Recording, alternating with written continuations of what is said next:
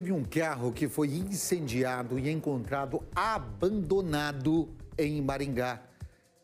Será que esse veículo encontrado abandonado tem a ver com esse crime que aconteceu durante a madrugada? O Igor Kremer tá lá, pode deixar a imagem do carro, tá, Marcão? Não precisa botar o Igor, não. O Igor já fala com a imagem em cima. Ô, Igor, teria relação esse veículo incendiado com o corpo o encontrado executado, a morte desse rapaz no interior da tabacaria?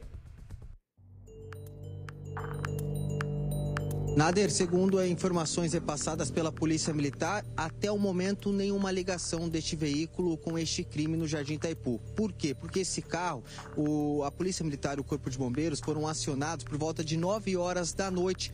Esse crime ocorreu ah, algumas horas depois, eh, adentrando a madrugada. Então, por isso, por momento, se descarta essa ligação entre esse veículo eh, que foi tomado pelo fogo com este crime de homicídio no Jardim Itaipu. Esse carro foi localizado por populares no final da Avenida Avenida Pedro Tax, próximo ao contorno norte aqui em Maringá, e logo os populares acionaram a polícia, que foram até o local. Lá encontraram o carro já totalmente destruído, é, o fogo destruiu praticamente tudo. O veículo estava sem as placas e também a numeração do chassi do motor, que é onde os policiais conseguem, através daquela numeração, identificar o veículo, também acabou sendo destruído pelas chamas. Ah, segundo a Polícia Militar, existe outra suspeita de que esse veículo, um palio de cor vermelho, vermelho estaria envolvido envolvido em outros crimes aqui na região, mas também nada confirmado. O carro foi guinchado, vai passar por uma perícia mais minuciosa agora para poder levantar mais detalhes, mais informações que possam, é, possam direcionar a polícia a identificar por que esse carro estava ali, por que ele foi incendiado e quem estava com ele. Nader.